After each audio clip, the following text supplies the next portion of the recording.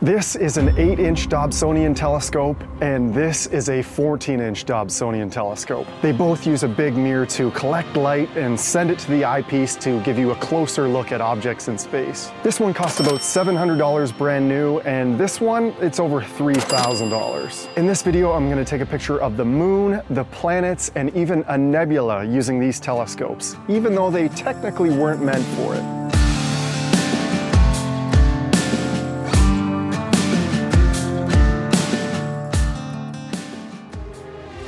Even though this one doesn't track the sky, you can still use it for astrophotography. I'll show you some different ways you can take pictures with your Dobsonian telescope using whichever camera you have. Your phone, a DSLR mirrorless camera, or better yet, a dedicated astronomy camera like this one. To start, we'll take a picture through the telescope eyepiece. The eyepiece is where the light from the primary mirror is concentrated and you can change the magnification of your view. But instead of looking through the telescope eyepiece, we'll put a camera right up to it. Okay, what should we shoot shoot first? How about the planet Venus? And if we have time, Mars. I'll use my phone for this one and it's not gonna be easy. The hardest part about taking pictures of planets with your phone is aligning the camera lens on your phone with the center of the eyepiece. I'm using a 32 millimeter low magnification eyepiece to make the process a little easier, although it will make the planet look pretty small. I could use a higher magnification eyepiece for a better view, but it'll be way harder to get a clean shot. Okay, I'll, I'll try for you. We can make everything easier by using a smartphone adapter to hold the camera steady. If you don't have an adapter or you lost yours, try not to lose your mind. This takes a steady hand and a lot of practice. To focus on the planet, it's the same process as if you were viewing it through the eyepiece. So get the planet roughly in focus first using your eye. Now we can align the camera lens on the smartphone with the eyepiece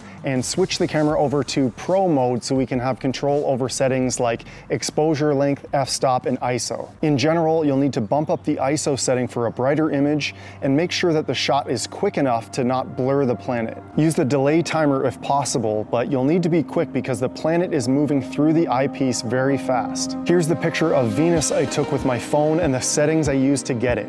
Not bad for a visual telescope and a phone, right? Let's see if we can get an even better photo using a mirrorless camera attached directly to the telescope. Again, there's no tracking on the telescope itself, but this camera will give us better control over the camera settings themselves. This time my camera is attached directly to the telescope with no eyepiece in between. So you can think of this Dobsonian telescope as a giant lens right now, a 1200 millimeter f5.9 lens to be exact. With a more secure connection, we can focus on taking a picture with a faster exposure time. This will give us a better chance at getting a crisp shot using the 10 second delay timer on the camera. We can really dial in the focus now too, thanks to the five times live view mode on the camera itself. Here's the photo of Venus I took using my mirrorless camera.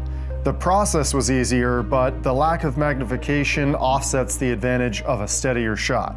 I think we can do better. Okay, time for the big guns. This time we'll use a dedicated astronomy camera and a Dobsonian telescope that's nearly twice the size as the first one. This is a 14 inch telescope, meaning that it can collect even more light and show even more objects in the night sky. If that weren't enough, this one has a motor that can find and track objects. I can use my phone to tell this telescope telescope to point to Venus and it will do it on its own. It uses an Altaz base, but it can keep objects in view for longer periods of time, even at higher magnification. This means that I can take a video of the moon or planets and get an even better photo. Here is what my video of the planet Venus looks like, and here is the image I got out of it. This is a great way to take detailed shots of the moon as well, and the exact process some of the best solar system photographers use to take their photos. There's plenty of tools tools to run a camera like this, but the ASI Air mobile app is probably the easiest. Just look at the planet Venus on my tablet.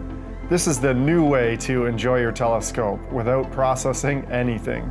I moved the telescope over to Mars next, and it's looking pretty small this summer from our vantage point on Earth. You don't need a 14 inch Dob to do this kind of stuff, just a dedicated astronomy camera and the software to run it. Do you know what that is? It's Venus. no, no, it's not. Is it Mars? No. It's not Venus? No. Venus would be a crescent. Is it? It's not Mars. It is Mars. It looks orange here, but it looks white up there. Yeah. No, that's Venus. so you can see Venus up there. but it's Mars that you're looking at right now. I'll point it at Venus now. Ah.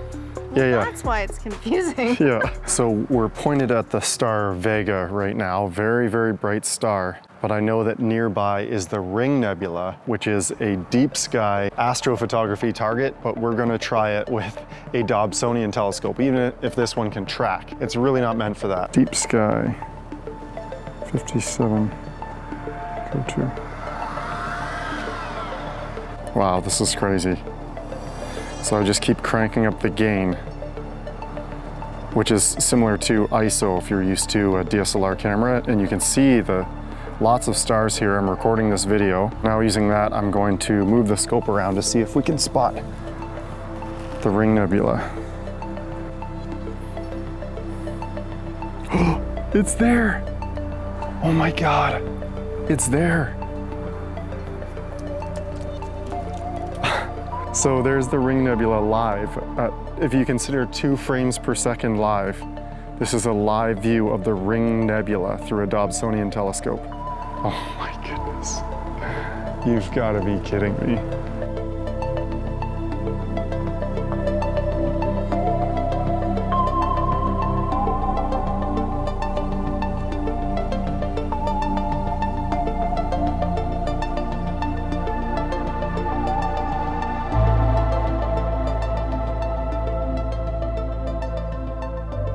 The last object I photographed was the moon. It wasn't that I wanted to save it for last, it just didn't rise until after 1 a.m. For this one, I went back to the 8-inch Dob and attached my mirrorless camera. This is the type of project anyone can take on and the results can be incredible. Sometimes the simplest moments are the ones you remember most. So to all the Dobsonian telescope owners out there, give astrophotography a try this summer. I think you'll be pretty surprised at what you can do.